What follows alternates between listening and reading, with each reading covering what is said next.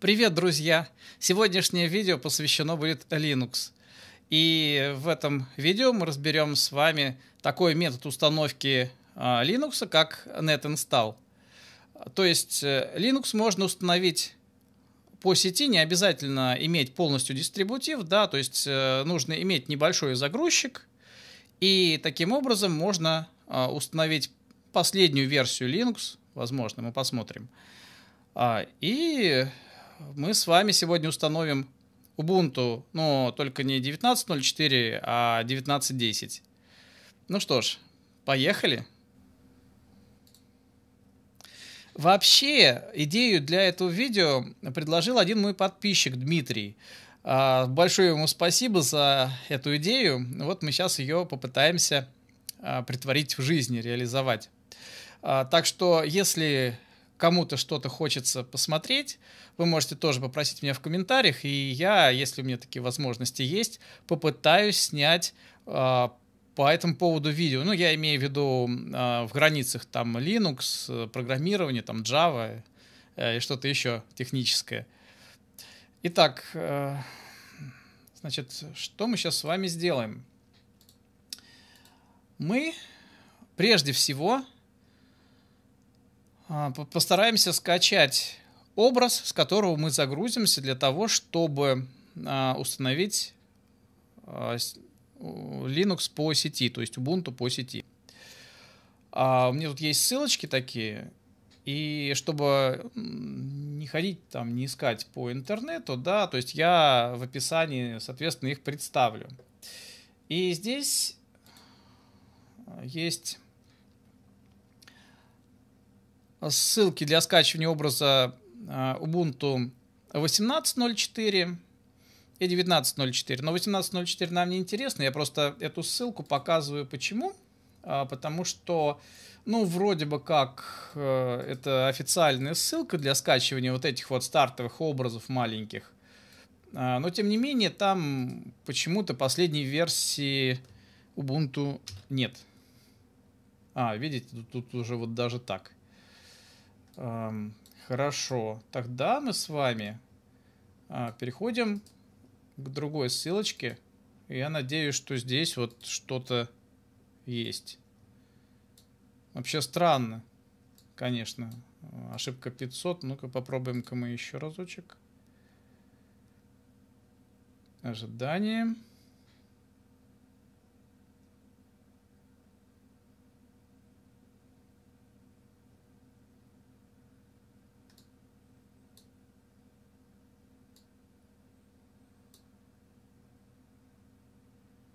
вот, похоже, там какие-то технические проблемы. Ладно, а, перейдем к ссылке, откуда мы, в общем-то, будем скачивать сам образ. Да, тут все нормально. А, я повторюсь, что ссылочки будут в описании. И здесь мы видим Ubuntu 19.10, то есть последнее. На предыдущей ссылочке, ну, когда было все нормально, да, там не было этого образа. Не знаю, может быть, они добавят, может нет. Сейчас вообще сервер там лежит, походу. Итак, у нас с вами... А, нам с вами предлагают выбрать архитектуру. Ну, у нас netboot. Images are, are available for the following architectures. Uh, AMD 64, Intel 386, ARM, ARM нам не нужна, Intel 386 нам тоже не нужна, ну, 32-битная система, да, мы скачиваем из AMD э, 64 по пути. И вот нам открывается вот такой вот э, списочек файлов. А, я так полагаю, что вот в комментарии э, как раз вот Дмитрий писал о именно об этом, что, ну, как бы пересылается на файловый сервер, он там FTP сервер сказал. Но на самом деле, да, действительно, то есть у нас э, просто настроен по умолчанию Apache, да, то есть и просто он выводит нам все файлы из директории. Но нас с вами, как вы уже, наверное, догадываетесь, интересует всего один файлик. То есть вот этот вот мини ISO. Либо, либо, по-моему, можно скачать вот этот netboot tart gz, да, то есть это gzip архив, в котором, по-моему, зажат тот же самый мини ISO. Вот мы его скачиваем. Он маленький достаточно, там 73 мегабайта. Я думаю, что он сохранится достаточно быстро. Ну вот. Действительно, все есть. Так, со скачиванием файлов разобрались. Ссылочки будут в описании. А, сейчас мы перенесем наш файлик из загрузок в дистрибутив. Так, вот он. Мою папочку любимую distrib. Вот пусть она здесь стоит. Этот файлик, вернее. Так. И теперь нам с вами необходимо создать виртуальную машину на которой мы будем, собственно, это все тестировать. Да, еще до того, чтобы тестировать на железе, я не дорос, вот никак не куплю плату захвата э, HDMI. И поэтому мы будем с вами делать это все на виртуалке. Так, значит, прежде всего, еще что хочу сказать. На самом деле, этот файл, а, вот он, мини ISO, да, мы можем а, записать его на флешку, то есть сделать загрузочную флешку. Ну, то же самое. То же самое, то есть открываем создать загрузочный диск, да, утилиту загруз... создания загрузочного диска и выбираем этот самый файлик. Ну, я просто сейчас технически показываю, мы на самом деле не будем делать флешку загрузочную, я так полагаю, что она... Да, вот, все. Да, то есть он есть, да, то есть остается только вставить флешку, да, и сделать загрузочную флешку. Но э, хочу обратить внимание, что у него очень маленький объем. Ну, по большому счету, если есть флешка порядка, там, порядка гигабайта, да, да, гигабайта, а, то ну, я думаю, что проще целиком дистрибутив скачать, э, той же Ubuntu, да, и на эту флешку, собственно, сделать ее загрузочной, да, с целого дистрибутива. Хотя, хотя, ну, я не знаю, это уже дело вкуса, скажем так. Э, Дело в том, что я даже не знаю, вот какой носитель приспособить такой маленький, уже таких носителей-то и нет. Может быть, какая-то старая флешечка, там 76,5 мегабайт, да, то есть это, не знаю, или, возможно, какой-нибудь обычный CD, обычный диск, да, там 650 мегабайт, там 700 мегабайт, вот туда это записать, или вообще там какой-нибудь мини-диск. А, но неважно. В общем, не знаю, ну, наверное, какие-то бывают случаи, когда вот э, какой-то маленький носитель, да, и его вот можно использовать для того, чтобы устанавливать все по сети. Ну и еще э, говорят, что когда ставишь по сети, ну мы проверим сегодня это дело, да, то, что ставится последняя версия, то есть все последние обновления, мы это проверим. Итак, создаем виртуальную машину VirtualBox. Создать. Так. Укажите типы названия. Ну, Ubuntu. Ubuntu. Давайте netinst. Да, netinstall. Ну, так у нас будет он называться. Ну, сразу он Linux Ubuntu 64 бита, все, что нам нужно. Далее. Ну, памяти мы дадим 2048, хотя, конечно, это уже маловато, я бы сказал, для Ubuntu. Для, для э, дистрибутива, обычного классического дистрибутива. Но мы тестируем, так что нам особо-то не нужно сейчас там ресурсов давать ему. Так, создать виртуальный жесткий диск. Да, создаем. По умолчанию. Динамический пусть будет. Да, пусть будет 10 гигабайт, потому что мы, собственно говоря, особо ничего ставить не будем на нее. Создать. Есть. Входим в настройки. Так, смотрим, что бы мы хотели изменить. Да, значит, видеопамять, сразу хочу сказать, 3D э, ускорение лучше не включать. Пока. Потом можно попробовать аккуратненько. А память ставим мы на полную, 128 мегабайт. Так будет вроде бы как побыстрее работать. А, далее, носители. Вот наш диск и подключаем образ. Подключаем образ. Так, тут уже кучу пробовал подключить, но непонятно с какой, с какого каталога, с какой папки. Вот, все, мини-со. Итак, диск в дисководе. Так, еще разочек по настройкам. А, аудио включено. Сеть по умолчанию, NAT. Кстати говоря, я не случайно а, здесь держу открытый аштоп. Это за тем, чтобы, возможно, немножечко дать а, ему приоритета, то есть вот именно этой виртуальной машине, процессом виртуальной машины.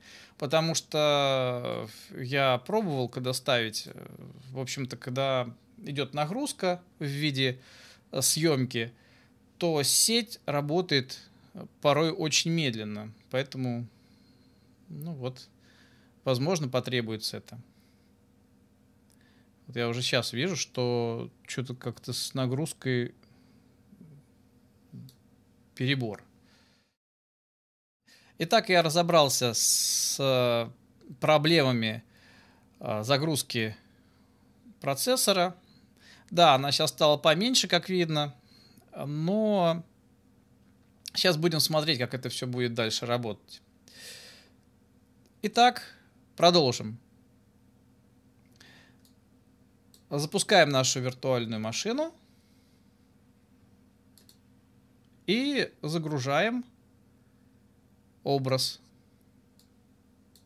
Итак, у нас вот такой вот загрузчик.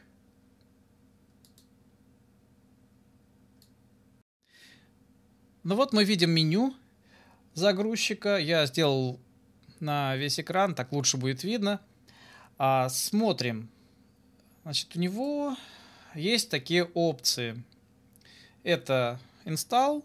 Ну, в Ubuntu сразу, как правило, все очень просто, поэтому нажимая на, на install, да, мы, соответственно, начнем сразу же процедуру установки. А я сразу скажу, что она достаточно простая.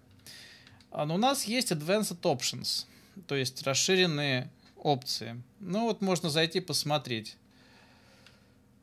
Expert Install, да, то есть Command Line Expert Install и Rescue Mode, да, то есть мы с помощью этого, добавок ко всему э, загрузчика, можем запустить э, режим восстановления.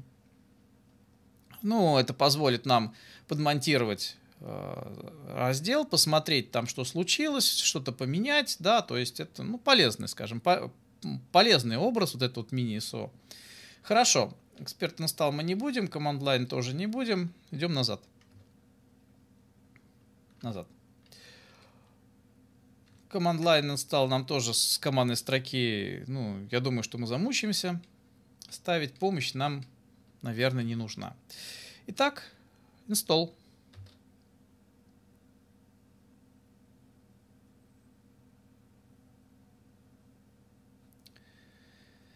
А, первое, что нам предлагает выбрать, еще пока на английском, а, choose the language to be used for the installation process, да, то есть для а, нам нужно выбрать язык, который будет использоваться в процессе инсталляции. И он еще станет языком по умолчанию. Давайте выберем, русские люди, да, мы выберем русский. Выбрали. Российская Федерация. Местоположение наше. То есть вот теперь уже по-русски запрашивают у нас местоположение. Российская Федерация. Дальше. Настройка клавиатуры. Вы хотите а, попробовать вашу клавиатуру, то есть, э, чтобы, чтобы машина сама поняла, какая у вас клавиатура, если вы там понажимаете кнопки какие-то, да. Если вы это не хотите, то ну, нам это не нужно. Мы не хотим, чтобы система определила у нас клавиатуру. Мы выберем русскую клавиатуру, самую обычную. И здесь он нас спрашивает а, переключатель языков, какой у нас будет между раскладками. Ну, я ставлю Alt-Shift, потому что к этому привык. И, и... Вот у нас пытается обнаружить сеть, получить IP-адрес, вот, получение настроек по DHCP.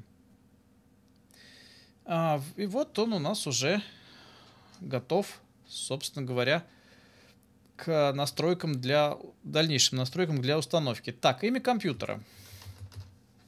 Ну, давайте, давайте будем то же самое. Ubuntu.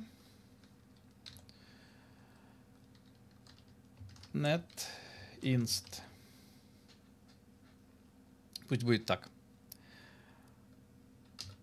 Продолжим. Итак, выберите зеркало архива Ubuntu. Э, пожалуйста, Российская Федерация нам вполне. РУ, архив, Ubuntu.com, да. Выбираем.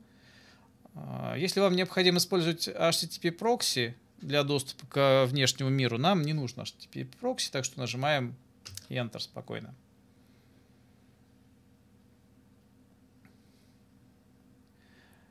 Вот у нас грузит дополнительные компоненты.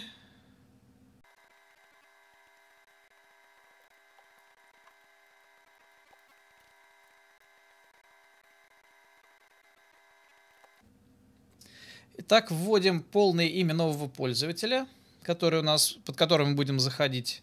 Давайте это будет Tech User, как у меня обычно. Так. А и теперь имя учетной записи. Реальное имя учетной записи. Ну, Tech UCR. Я обычно делаю. Так, введите пароль для нового пользователя. Самый простой. QVE 1, 2, 3. Пойдет. Мы же не будем серьезно работать на этой системе, только для теста делаем. Поэтому будет такой простенький пароль. QVE 1, 2, 3. А, так. Введенный вами пароль состоит менее чем из 8 символов, поэтому он является слабым. Ну что ж, использовать слабый пароль, конечно. Так, получает время сервера времени. Ладно, будем смотреть, что будет дальше.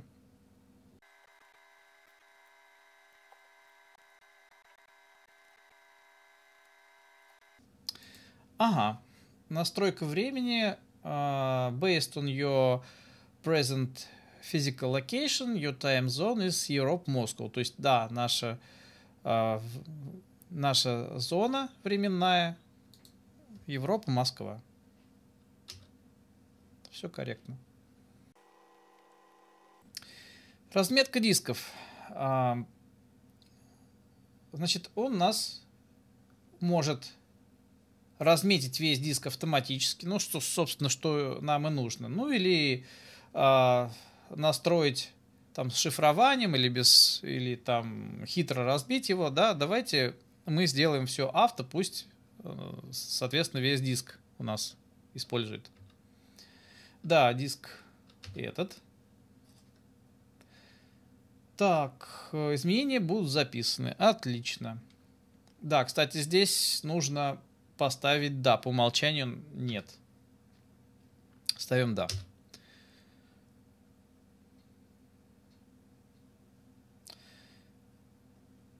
И вот пошло получение пакетов по сети, пошла установка базовой системы. Ну, ждем.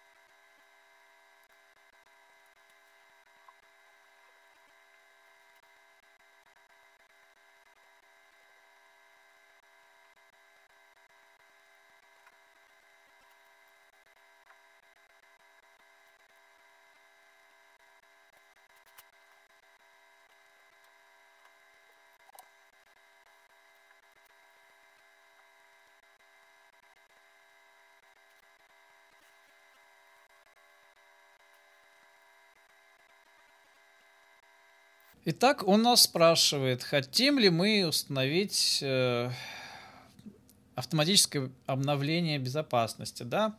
Ну, мы устанавливаем для теста, да, поэтому мы обновлять будем, если что-то вручную. Давайте без автоматического обновления. Так, минуточку.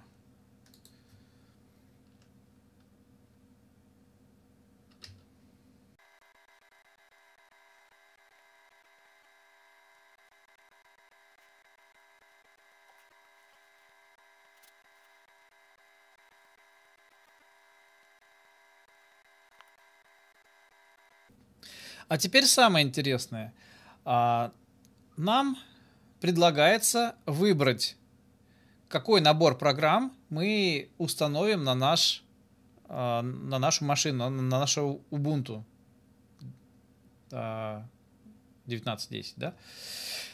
Так, смотрим, что у нас здесь есть.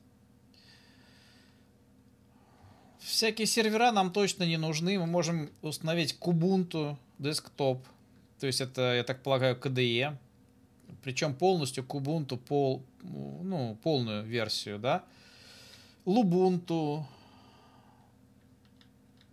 Ну, в общем-то, все разновидности э, семейства Ubuntu мы можем отсюда, наверное, поставить. Так, Ubuntu десктоп. Минимальный десктоп. Mate. Кстати говоря, десктоп можем поставить. Ubuntu Studio, это, я так полагаю, что для программирования, что ли. В общем, можно тут кое-что выбрать, выбрать наборы программного обеспечения. Мы с вами выберем а, Ubuntu Desktop. Так, когда мы переместили курсор, мы обязательно должны нажать клавишу пробел, потому что я уже ошибался таким образом, да, и ставил голую систему. И после этого мы нажимаем на Enter.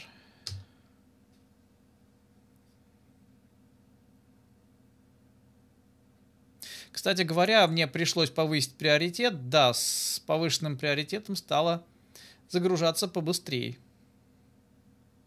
Итак, ждем.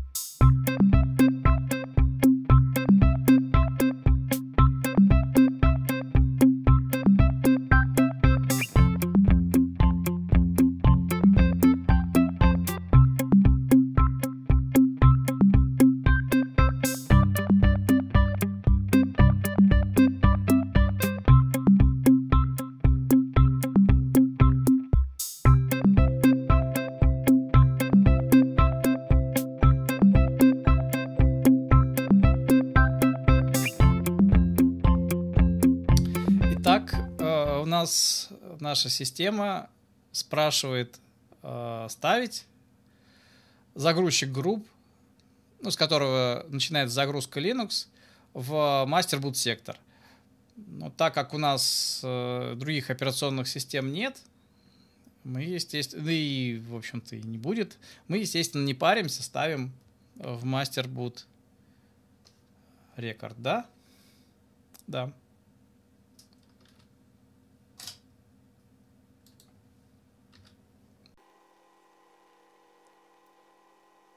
Так, системные часы обычно показывают универсальное координированное время UTC. А, системные часы показывают UTC. Да, у нас системные часы в VirtualBox показывают UTC. Так что делаем да. Установка завершена. Ну все, собственно говоря, установка у нас завершилась, да, и это заняло где-то порядка ну, наверное, около получаса. А это, я думаю, что гораздо быстрее могло бы поставиться, да. А здесь, естественно, тормозил OBS, которым я снимаю, соответственно, весь процесс. И еще я заметил, что есть разница. Иногда бывает загружен сервер, с которого, собственно, идут пакеты, поэтому не так быстро это все качается. Ну, я бы сказал, что у нас сегодня не самая а, медленная установка получилась. А, я пробовал просто уже ставить два раза, и у меня один раз был еще медленнее. Итак, что ж, перезагружаем, продолжить. Так, нам нужно изъять обязательно из привода диск. Не знаю, обязательно или нет, но мы его извлечем. Да, желаю я извлечь. Так, все, продолжить.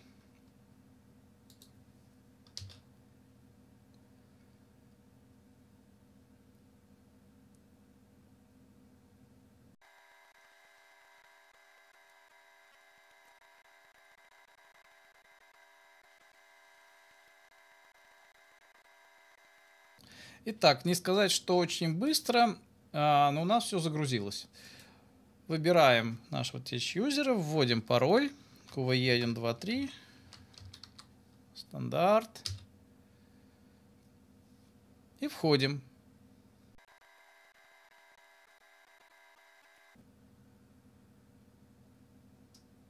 Ну вот стандартный десктоп убунтовский.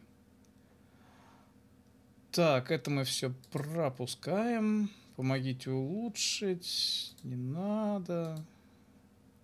Конфиденциальность. Ничего нам не нужно. Все готово к работе. Отлично.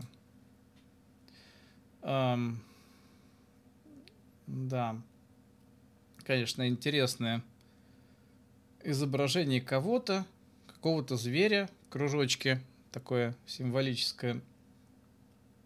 Ну, раз от раза все страннее, скажем так.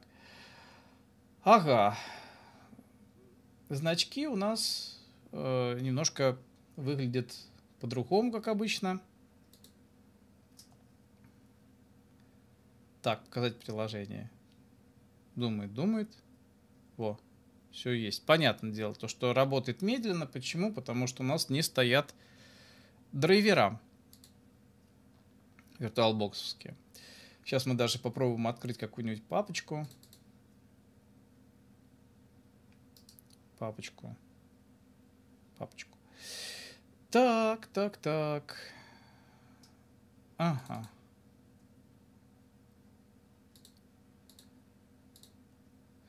Папочка у нас есть.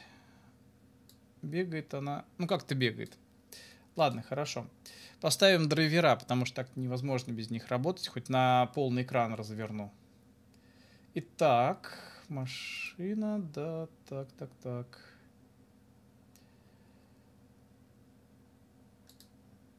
Подключить носитель. Итак, носитель у нас есть, да, запускаем.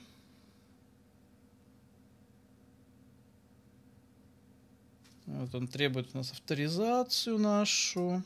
QVE 1, 2, 3. Подтверждаем. Что он вторую, что ли, открыл? Да. Второе окошко открыл.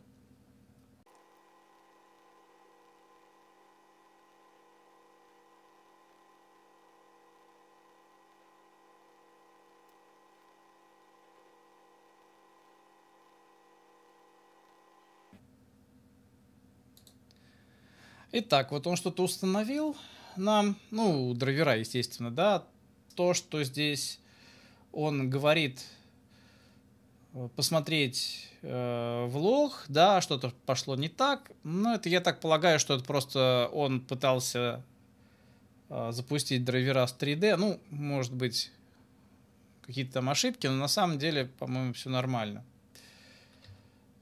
Так, нажимаем Enter и перезагружаем нашу машину виртуальную. Перезагрузить. Ждем.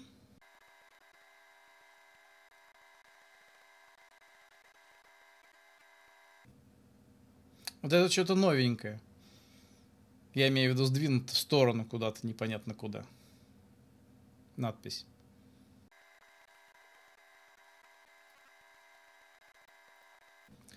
Итак, у нас все загрузилось. Опять входим в систему. Сейчас будем проверять, установились ли драйвера или нет.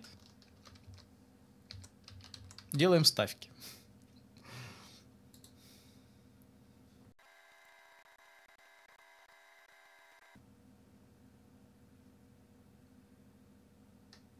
Так.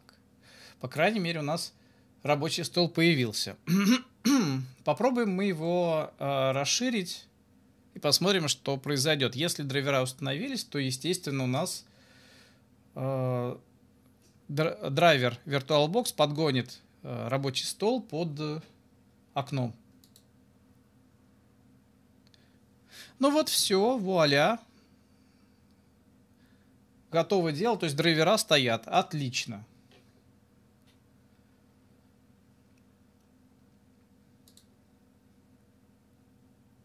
Так, стало все побыстрее, естественно, и поинтереснее.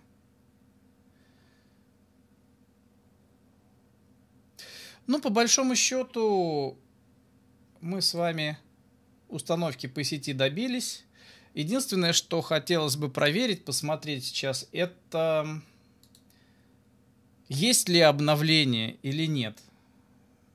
Я не думаю, что сейчас за такое время, если там все последние пакеты – да, кстати говоря, чтобы не искать терминал, теперь это можно сделать, по-моему, по правому клику мышки, вот открыть в терминале. То есть открыть терминал, так полагаю. Да, вот. Посмотрим, есть ли там какие-нибудь обновления. То есть обманули нас или нет. В смысле, когда э, кто-то сказал, что ставится по сети все последние пакеты. А, так, так, так. Сделаем лучше вот таким вот образом, чтобы сто раз судо не набирать. QVE 1, 2, 3. Ага.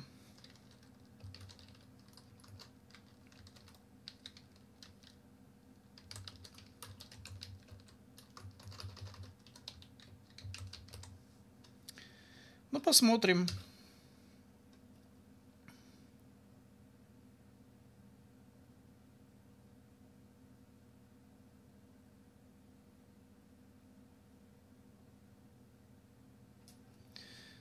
Так, попробуем за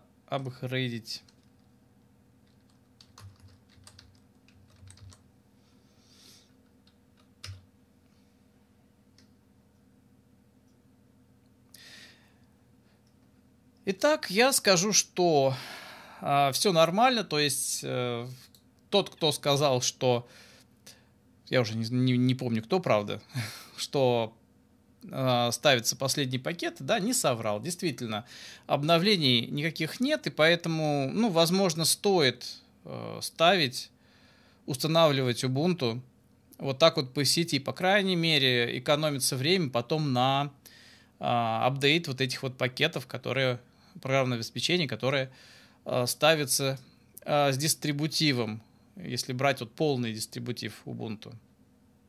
Ну вот так просто, э, собственно, поставить Ubuntu по сети.